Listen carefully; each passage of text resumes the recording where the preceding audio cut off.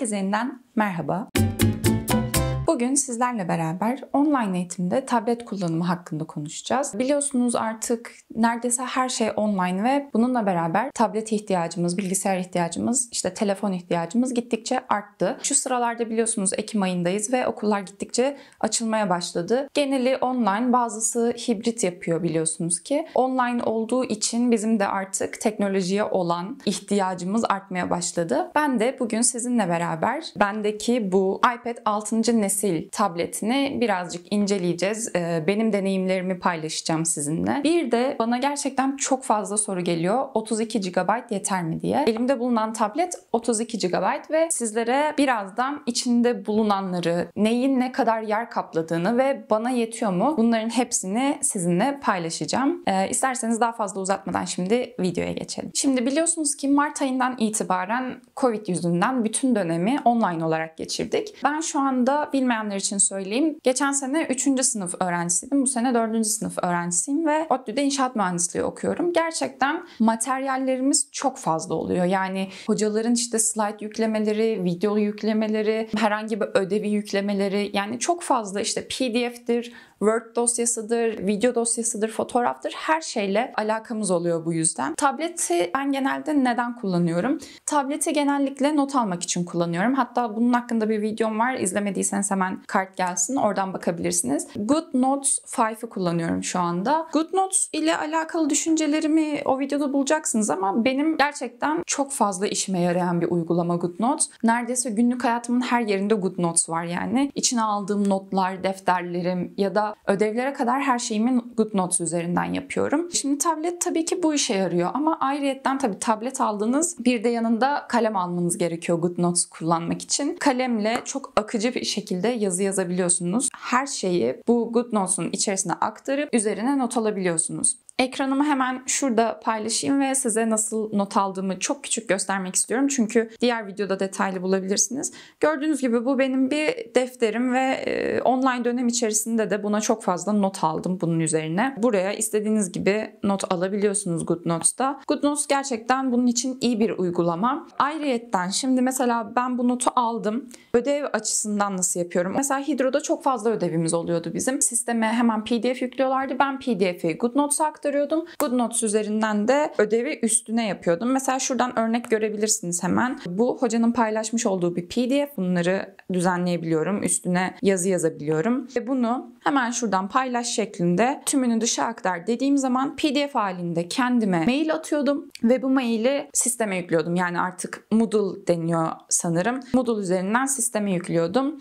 Bütün üniversitelerde bu sistem bu şekilde yürüyor. Online dönemde tablet benim çok büyük bir yardımcım oldu. Not alma uygulamaları olsun, şimdi birazdan göstereceğim diğer uygulamalar olsun benim çok işime yarıyor. Burada görmüş olduğunuz uygulamalar benim online dönemde hemen hemen hepsini kullanmış olduğum uygulamalar. Camscanner'dan ne yapıyordum? Sınavlar sırasında kağıdımın PDF'ini oluşturuyordum ve kendime mail atıyordum. Maili hemen indirip sisteme yüklüyordum. Sınavları bu şekilde yapıyordum. Hemen şöyle küçük bir göstereyim mesela. Burada geçen dönem yapmış olduğum bir sınavım var. Hemen hemen burada e, bulunan tüm dosyalar sınavlar ya da ödevler şeklinde. Çünkü online dönemde dediğim gibi Cam Scanner'ı çok fazla kullandım. Şimdi tablet tabii ki bunların hepsini çok pratik bir şekilde yapmanızı sağlıyor ama e, burada gördüğünüz Zoom uygulaması var mesela. Zoom'u mutlaka biliyorsunuzdur artık e, hemen hemen herkesin kullandığı bir uygulama oldu. Görüntülü konuşmanıza yarıyor. Yani hoca sınıf oluşturuyor. Siz sınıfa giriyorsunuz ve görüntülü bir şekilde konuşuyorsunuz.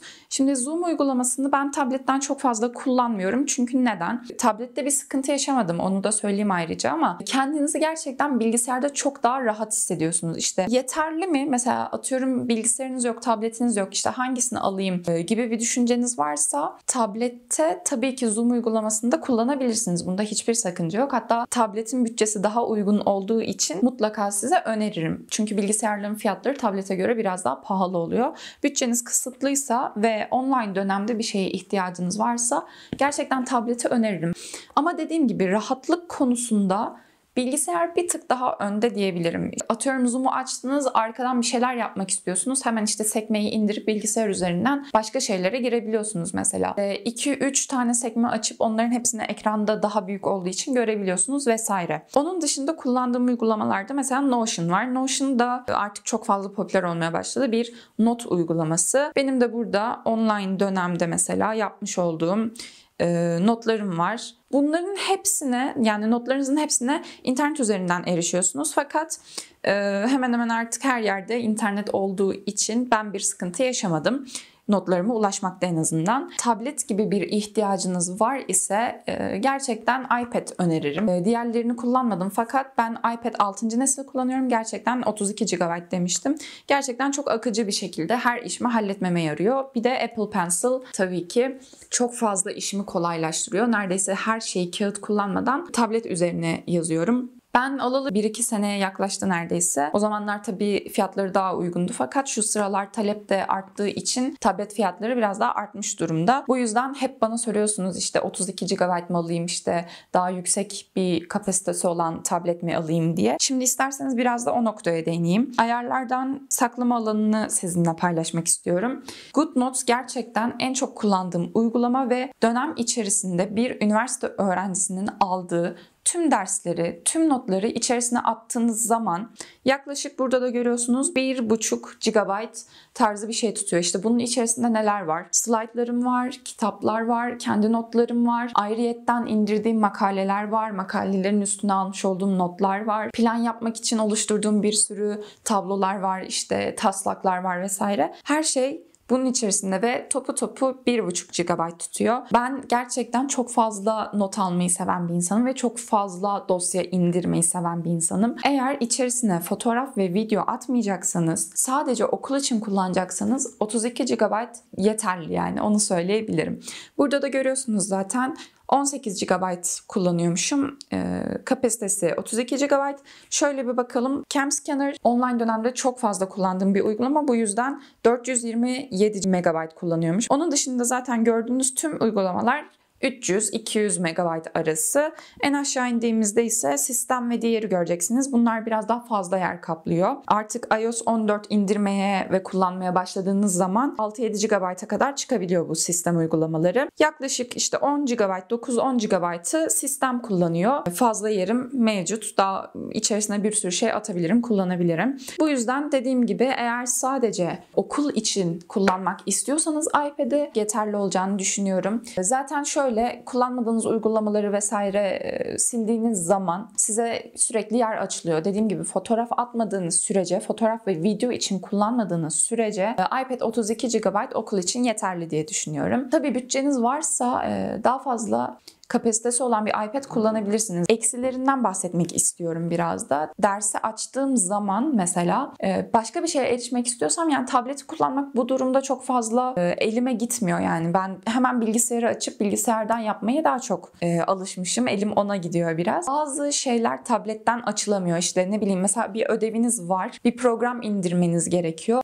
Onu iPad'e indiremezsiniz mesela. Bilgisayar üzerinden yapmanız gerekiyor. Bu da bir eksi tabii ki. Mesela işte AutoCAD dosyasını ben iPad iPad'de e, açarım ama kullanamam mesela. Yani sadece açıp görüntüleyebilirim. O yüzden elim hep bir bilgisayara gidiyor. Ne, ne bileyim bir Revit dosyasını e, tabletten açamam. Bu yüzden hemen bir bilgisayar kullanmaya gidiyor elim.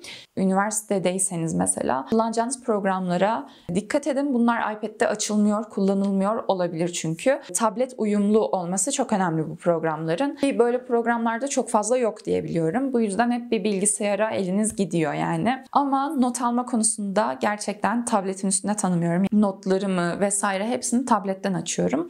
Yani aslında kısaca özetleyecek olursak online dönem için bir tablet almak istiyorsanız ve uygun fiyatlı olsun istiyorsanız şu anda benimki 6. nesil çok fazla bulunmuyor ama e, iPad 7. nesil 32 GB kesinlikle öneririm. Yani sorunsuz çalışacağına eminim. Çok memnun kalacağınıza da eminim.